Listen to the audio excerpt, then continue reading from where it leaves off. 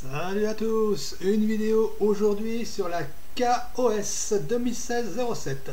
La KOS, c'est la cousine, on va dire au troisième ou quatrième degré de la Arch Linux. C'est une Arch Linux, enfin, elle est apparentée à l'Arch Linux. C'est un peu une Arch Linux Canada Dry.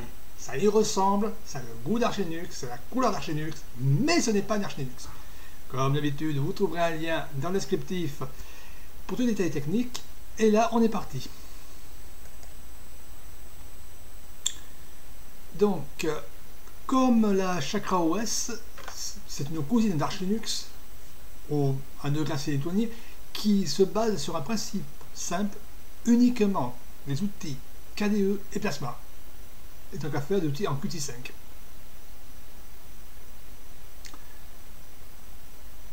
Donc là, on a l'écran démarrage. Je ne sais pas s'il va mettre en plein écran. Non, pas, non, pas fait. Donc c'est un peu compacté, c'est normal parce que c'est un bug du, euh, VirtualBox. Mais une fois que ça va être en, en chargement, ça va être en plein écran. Enfin, théoriquement. Voilà, c'est mieux comme ça.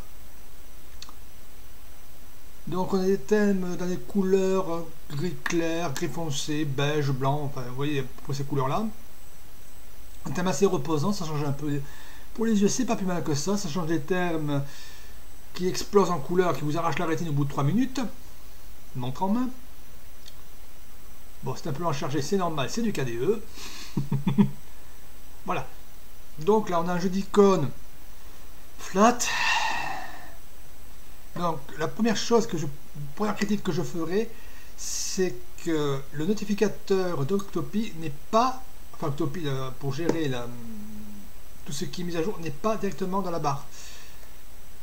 Ça quand même un, peu mieux. Ça mieux qu'elle soit directement disponible ici. Je sais pas si on peut le mettre en... C'était mieux quand même pour avoir directement des notifications. C'est un peu mieux de la barre directement en bas. Donc là on a un jeu du code qui est sympa, qui est supportable. De chevet. Là on a des outils simples. Dolphin, avec un jeu d'icônes qui est pas trop mal pour du flat. Que ce sera chargé bien sûr. Voilà, donc vous avez un jeu d'icônes qui n'est pas, qui n'a pas l'impression d'avoir été fait par un enfant de maternelle. C'est déjà ça de gagner. Et encore, j'insulte les enfants de maternelle en disant ça. Donc on a un plasma 5.7.2. Euh, voilà, un center.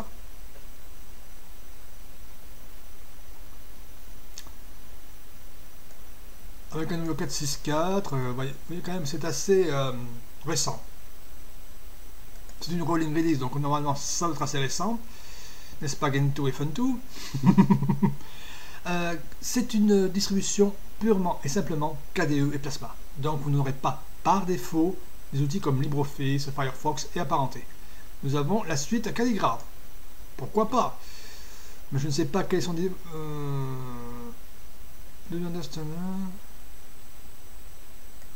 C'est vrai, donc c'est une version pas complètement terminée de, du port de hum, Calligra. Donc c'est un peu tangent d'utiliser. Bah, au moins, si le port est suffisamment avancé pour être utilisable.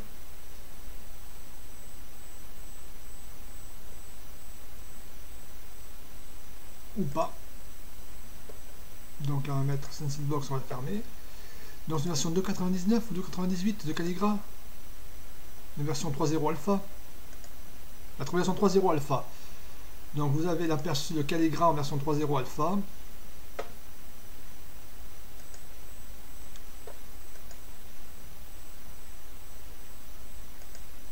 Je ne sais pas utiliser Calligra, donc vois à quoi ça ressemble. Je préfère LibreOffice, enfin les goûts, les couleurs. Hein. Les coups, les douleurs, comme on dit. Donc il y a aussi euh, c'est pour euh, tout ce qui est euh, tableur.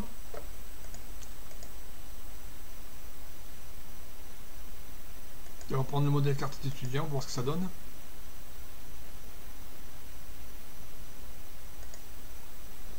Apparemment, il y a un petit problème au niveau des polices utilisées. Donc là, on, peut, on va faire une nouvelle feuille. Hein. Nouvelle feuille blanche. Bon, donc on a...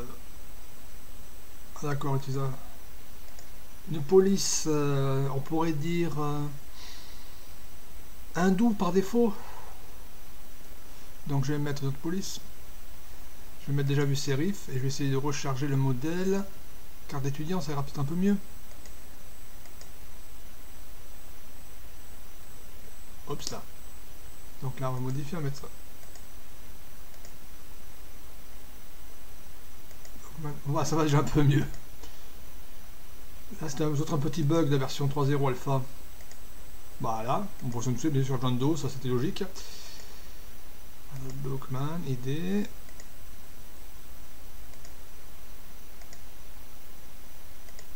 Donc là, on va transférer tout ça.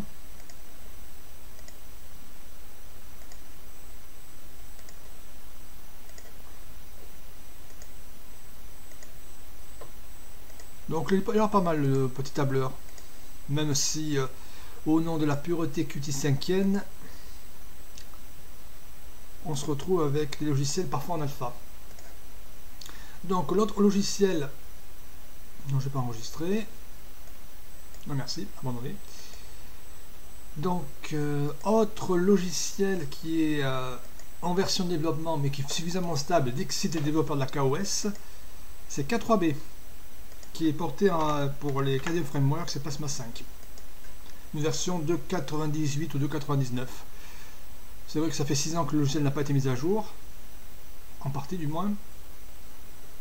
9.90, voilà. Bon, bien sûr, j'ai pas de graveur, donc c'est pour ça qu'il gueule, mais sinon, on a un KO, un K3B. Avec un petit K, bien sûr, pour Creator. Tant qu'à faire, pourquoi pas. Pour compiler contre KDE 524, pas les Plasma Framework 524. Donc vous voyez, il y a pas mal de petits outils, toujours bien sûr uniquement KDE et assimilé. Donc pour la navigation internet, on a Cubzilla en place de Firefox, pourquoi pas? Utilise un moteur Qt WebKit, donc normalement ça va être assez rapide. C'est une version 2 je crois de Cubzilla.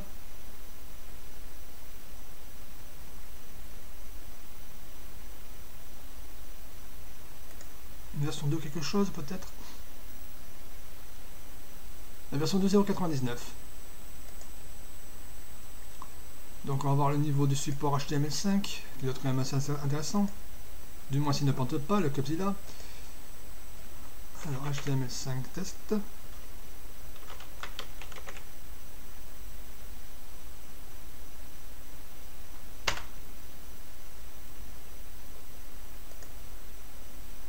On est dans les, 400, dans les 350 points minimum. 484 Waouh ça fait mal.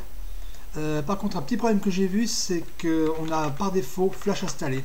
Voilà, c'est pratique, mais si on pouvait s'en passer, ce serait pas plus mal que ça. Alors, les greffons, bot plugins, euh, outils, greffons peut-être, adblock. Donc, on a un adblock. Ok, il est activé. Et les greffons, on fait comment pour les voir? Préférence peut-être, parce que je n'ai pas l'habitude de Cubzilla, donc je cherche. Extension peut-être, auto-scroll, blablabla, moi gesture.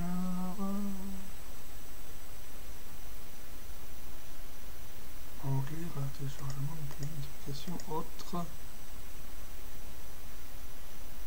Bon, mais je ne sais pas où on peut trouver les greffons, ça m'en pas out. Je sais qu'on a Flash via le euh, programme Paper Flash préinstallé. Pourquoi pas? Pour les quelques rares sites qui ont besoin encore de Flash, On a Cantata pour l'audio, et non pas Clémentine Qt5 qui n'est toujours pas sorti en version euh, finale. Donc là, ah d'accord, MPD n'est pas activé apparemment.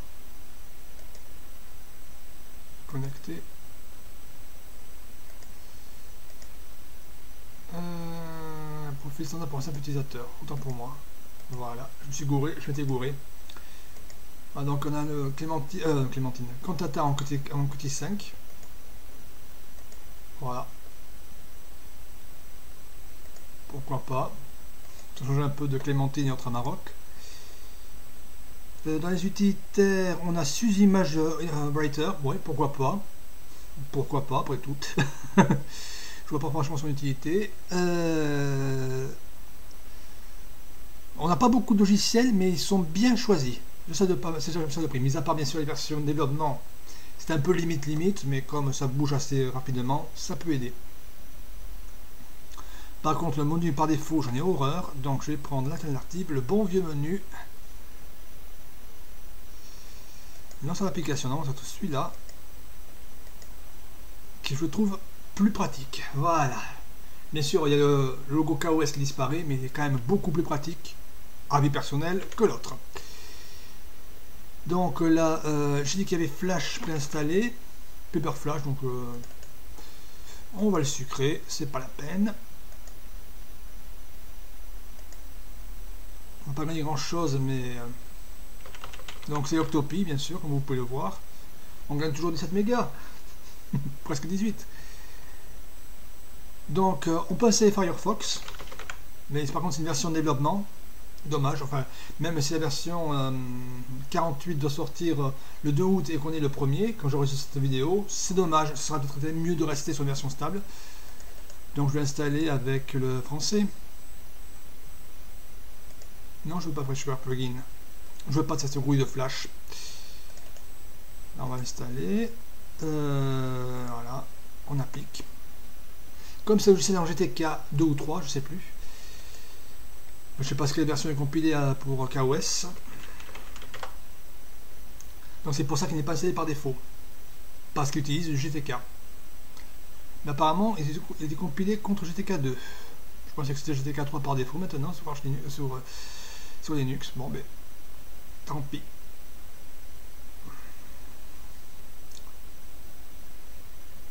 C'est vrai quand même que GTK 2 est quand même un peu en fin de vie. Donc on va voir ce que ça donne.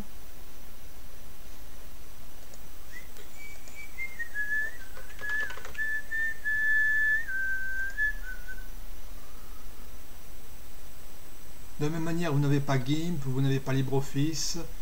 Donc je pense qu'on a les deux LibreOffice. Comme ça, si je mets deux, un seul ça va pas le faire. Oui, donc euh, apparemment c'est LibreOffice euh, dernière version, il n'y a pas la version style, il n'y a que la version fraîche.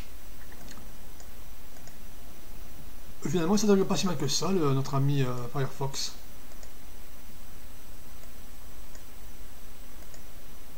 Bien sûr, il n'est pas aussi bien intégré qu'un logiciel en, en Qt, mais par exemple LibreOffice avec le français.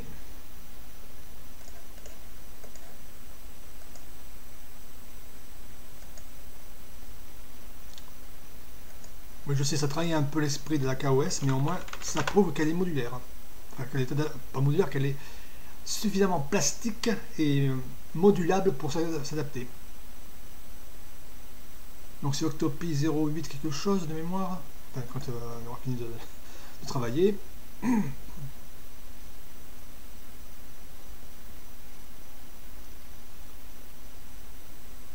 C'est quand même dommage qu'au nom du Qt5 à mort, il y ait certains logiciels qui soient encore un brin non, non finalisé.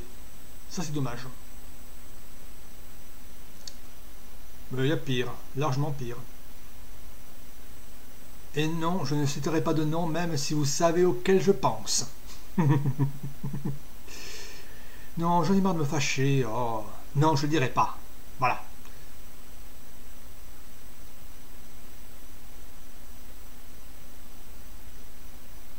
Donc on attend qu'il finisse d'installer LibreOffice.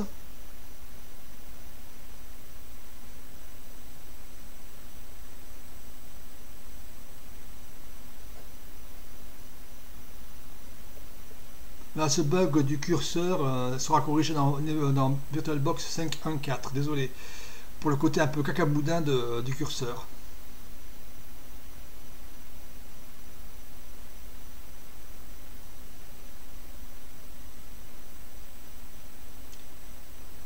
Bon, avances ou tu recules?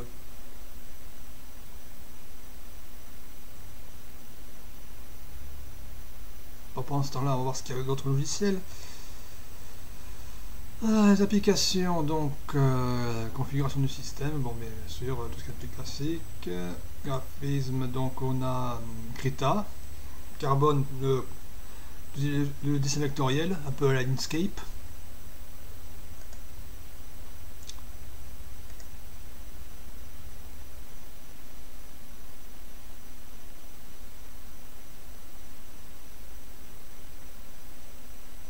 Ah, ça y est, il a terminé.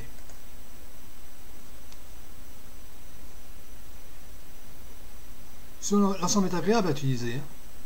Mais il faut vraiment aimer euh, KDE et Qt par contre.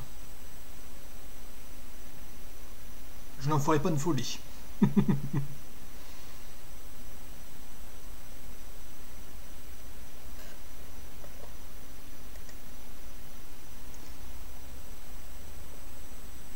Alors, voyons.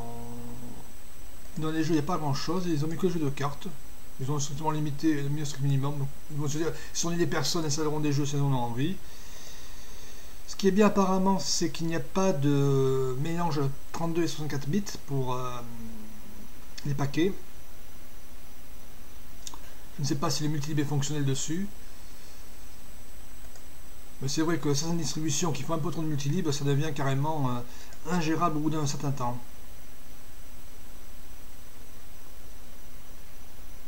Ok, c'est bon. Donc LibreOffice. C'est installé. Dans quelques secondes, on va voir LibreOffice ce que ça donne. Voilà. Donc, on va dans application bureautique. Euh, on va prendre LibreOffice Writer. Mal avec le logo KOffice dessus. Enfin, KOS dessus. Pourquoi pas? Ça fait un peu limite illisible, mais... Pourquoi pas?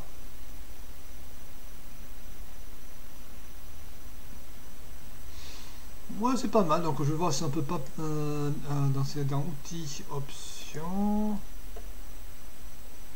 Affichage... style automatique, on va mettre Breeze. Voilà. Ça colle un peu mieux avec le thème de KOS.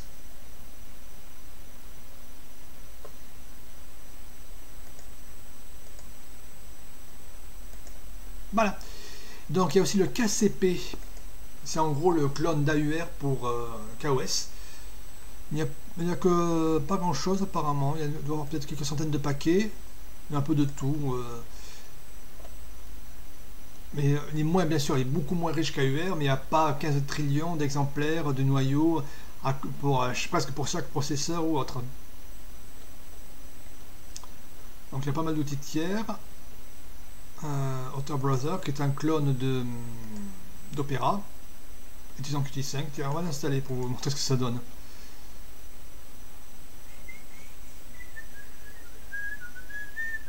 non, je ne veux pas utiliser le package build.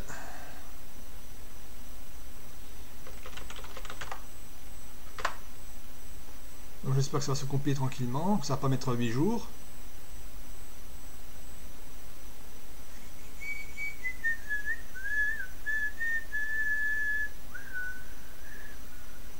On voit que ça utilise GCC 5.4, pourquoi pas? ils passeront sûrement à GCC 6 quand il sera un peu plus stabilisé. que GCC 6 a été une sacrée purge sur certains plans pour Arch Linux hein, et apparenté. Donc ça permet de recompiler euh, des logiciels tiers. Je ne vais pas prendre prendre celui-là parce qu'il va mettre une éternité à se recompiler.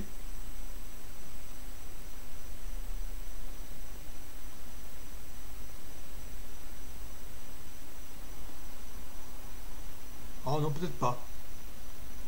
Pour moi, il est assez rapide à recompiler. Donc j'ai un vieux bousin de 6 ans d'âge.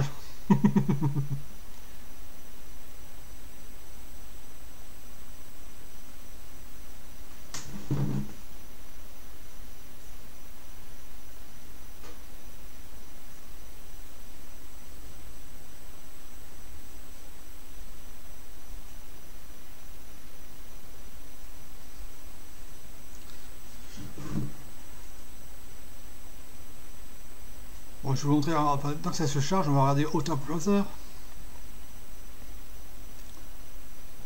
Pour voir à quoi il ressemble, en espérant qu'il soit complet jusqu'au bout.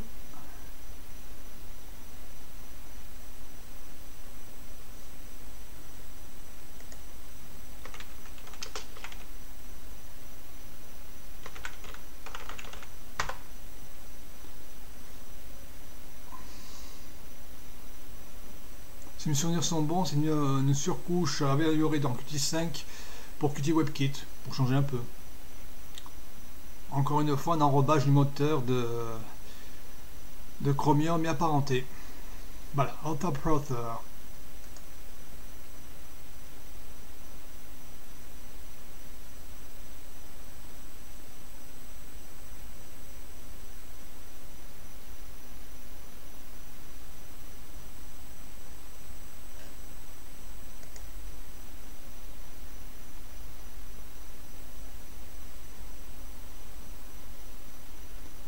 Peut-être de capture d'écran Non.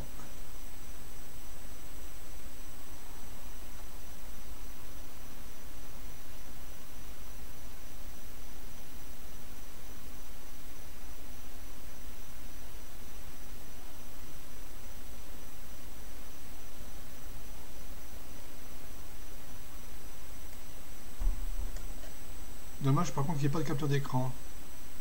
On voit toujours des vieux vieux capture d'écran pour vous montrer un peu à quoi ça ressemble. C'est peut-être parfois assez vieux, donc... Euh, à quoi ça ressemble en gros, oui. Mais ça doit dater un peu. Il n'y a pas date précisée. Bon, mais je vais en prendre un autre, parce que ça va être un peu long à compiler.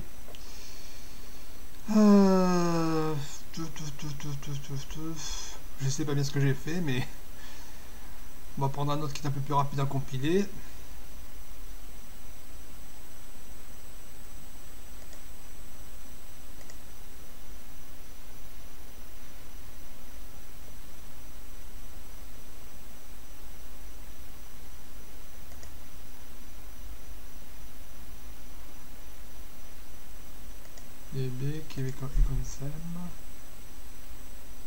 Ah ben je vais mettre un thème d'icône, ça sera assez rapide à compiler sera plus rapide qu'un navigateur internet. Enfin, théoriquement. Ah, ça. Bon, mais vous avez compris que si on n'a pas fini, donc si c'est un peu comme Arch Linux, c'est simple à savoir. Hein. Alors, console. Je vais essayer de faire sudo pacman y pacman syy. Il me le fichier à virer.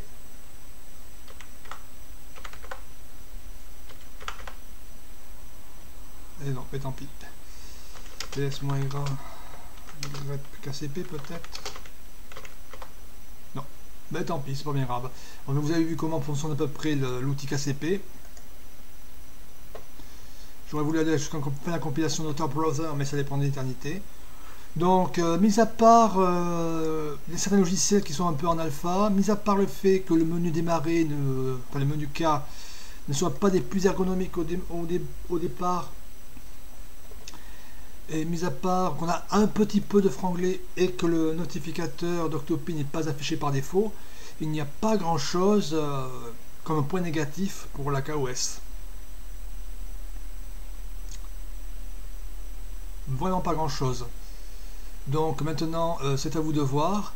Si vous cherchez une distribution, euh, déjà pour utilisateur un peu avancé, qui utilise une base Arch Linux et KDE uniquement, vous avez la KOS ou la Chakra. Si vous êtes un peu plus débutant et que vous cherchez une base Arch Linux avec KDE, je vous conseillerais plutôt un Manjaro Linux KDE. Sur ce, je vous laisse, je vous dis salut à tous, bonne journée et à la prochaine, bye bye